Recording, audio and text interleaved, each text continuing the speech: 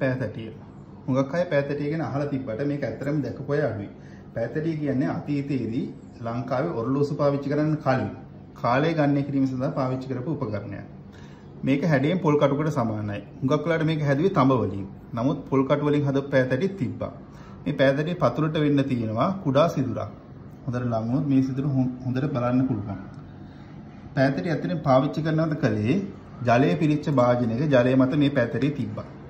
තිබ්බට පස්සේ මේ පතුලේ තියෙන කුඩා සිදුරෙන් මේක ඇතුළට ජලය පිරෙනවා. ඒ ජලය පිරලා යම් කාලයකදී මේ පෑතැටිය ජලය සම්පූර්ණයෙන් ගිලී යනවා. ඒ ගිලී යන ගතවන කාලය නිශ්චිත කාලයක්. ඒකට අපි කිව්වා සිංහල පැය එකක් කියලා. සිංහල පැය එකක් කියන්නේ වර්තමාන විනාඩි වලින් බැලුවොත් විනාඩි 24ක් කාලයක්. ඒක ඉන්නේ කොහොමද කියන එක අපි පෑතැරිය වතුරට දාලි වෙලා බලමු. මේ තියෙන්නේ විනාඩි 24න් ගිලන පෑතැටිය. ඒ වගේම ඒ කාලේ මීට වඩා අඩු කාලෙකින් ගිලන පෑතැටිත් තිබ්බා. මෙන්න මේ පෑතැටිය අපි පරීක්ෂා කරලා බැලුවාම මේක විනාඩි 16කින් ගිලන්නේ. ඒ කියන්නේ සිංහල පැය 24ක් තියෙනකොට විනාඩි 16ක් කියන්නේ සිංහල පැයකින් 3න් 2ක කාලයක් මේකට ගත වෙලා තියෙනවා. මේ පෑතැටි ඊටත් වඩා පොඩි එකක්.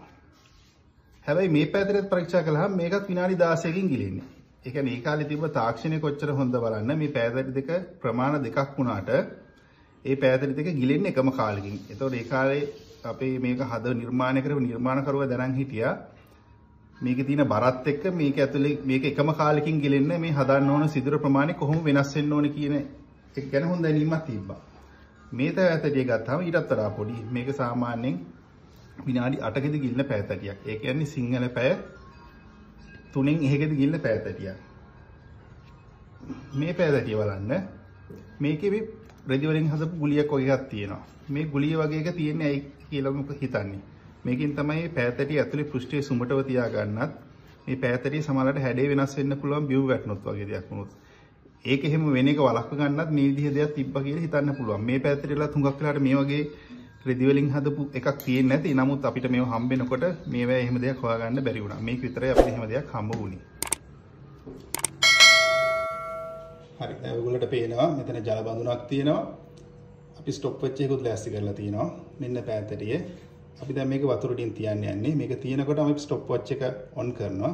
අප බලමු මේක ගිලෙන්න ඇත්තටම කොච්චර කාලයක් ගත වෙනවද කියන එක.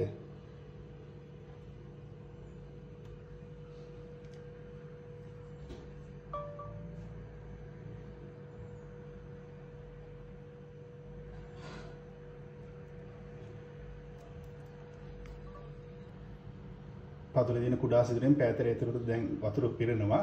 අප බලමු විනාඩි 24ක් යනකොට මේක මොකද වෙන්නේ කියලා.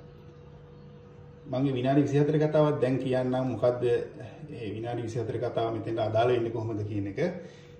අපි දැන් කාලේ දවසකට පැය 24ක් විදියට ගණනය කළාට අතීතයේ අපේ සිංහල නැකත් ශාස්ත්‍රයේදී දවසට පැය 60ක් විදියට සැලකුවා. ඒ කියන්නේ 60 පැය ක්‍රමයක් තිබ්බේ.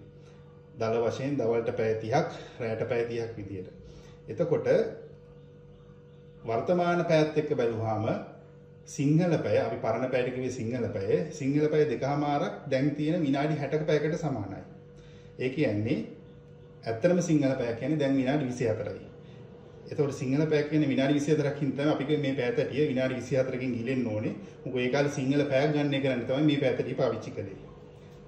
අප බලමු විනාඩි 24ක් යද්දි ඇත්තට මේ පැයතටිය ගිලෙනවද කියලා.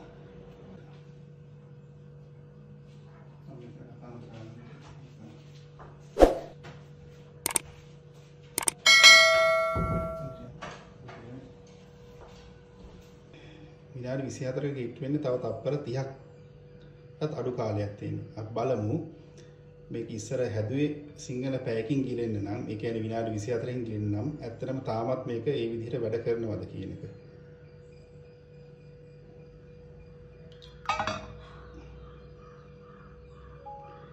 ඔබතුට වනේ විනාඩි 24කට තප්පර 10ක් විතර දීදී මේ පැයතටිය වතුර කිල්ලනවා. ඇත්තට සමහරට මේ ප්‍රමාදය අපි මේ පැයතටිය වතුරට දාලි වෙලා ස්ටොප් වොච් එක පටන් ගන්න වෙලාව අතර වෙච්ච වෙනස වෙන්නත් පුළුවන්. නමුත් අපිට මේකෙන් හිතා ගන්න පුළුවන් ඒ කාලේ මේ උපකරණය කොච්චර නිර්වද්‍යතාවයකට ඒගොල්ලෝ හදලා තියෙනවද කියන එක.